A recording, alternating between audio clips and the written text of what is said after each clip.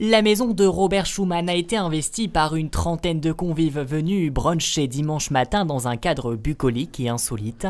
C'est en plein milieu du jardin de la demeure de ce dernier, à Sichazel, que le chef à domicile David Siré a installé son restaurant éphémère.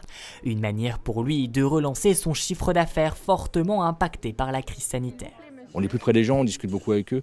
Ils discutent beaucoup avec nous parce qu'ils connaissent notre, situation, ils savent qu'on a été les premiers touchés et on sera les derniers à démarrer correctement. Donc c'est vrai que voilà, c'est important et les gens le comprennent. Sur le buffet, des produits tout droit venus de fournisseurs locaux, du fromage de la maison du Grand Serre à Metz ou encore des fraises et du jus de pomme de la cueillette de Peltre. Travailler en circuit court, c'est une vraie aubaine pour ce chef.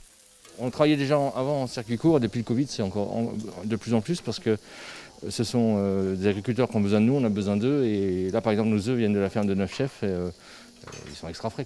C'est vraiment pour faire profiter nos convives et, les gens apprécient beaucoup. De nombreux produits agrès et qualité et MOSL se retrouvent donc dans les assiettes de ces hôtes, une initiative qui les a motivés à faire le déplacement. Les gens se sont plus tournés vers les produits locaux pendant le confinement et donc c'est oui, très bien. On est un peu aussi dans l'écologie et on cultive un peu nos légumes et on va aussi se fournir dans des, la cueillette de peltre. Hein, et du coup, je trouve, ça, je trouve que c'est une bonne initiative. Tant qu'à faire, euh, manger des produits qui sont de chez nous, euh, bah, c'est toujours euh, plus agréable. Et j'aime bien faire découvrir ça à mon fils. donc oui, c'est important pour moi. Une expérience gustative que vous pourrez encore découvrir jusqu'au 28 août dans l'un des cinq sites passionnément Moselle.